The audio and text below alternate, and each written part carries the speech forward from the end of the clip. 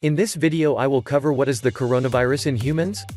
Watch the full video because I will show you, what is human coronavirus 2019 nCoV? A coronavirus is a kind of common virus that causes an infection in your nose, sinuses, or upper throat. Most coronaviruses are not dangerous. Some types of coronaviruses are serious, though.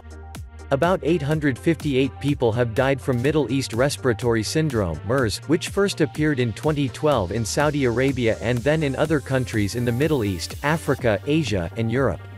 In April 2014, the first American was hospitalized for MERS in Indiana and another case was reported in Florida. Both had just returned from Saudi Arabia. In May 2015, there was an outbreak of MERS in Korea, which was the largest outbreak outside of the Arabian Peninsula. In 2003, 774 people died from a severe acute respiratory syndrome SARS outbreak. As of 2015, there were no further reports of cases of SARS.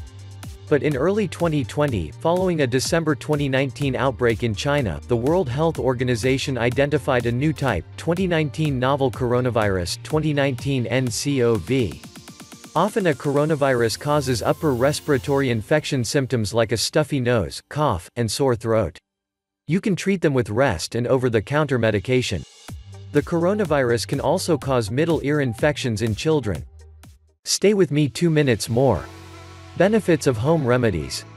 More affordable than conventional medicine. Easier to obtain than prescription medicine. Stabilizes hormones and metabolism. Natural healing. Strengthen the immune system. Fewer side effects. Cost effective. Would you like to save thousands of dollars in hospital bills? The link is in the description.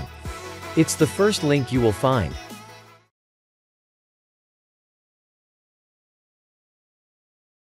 You are an amazing person. Wow. You came to the very end of this video. Can you do us a favor and subscribe and activate the bell at the very least? It would be very appreciated from the bottom of our hearts. Also if it's possible like, share and comment. God bless you forever.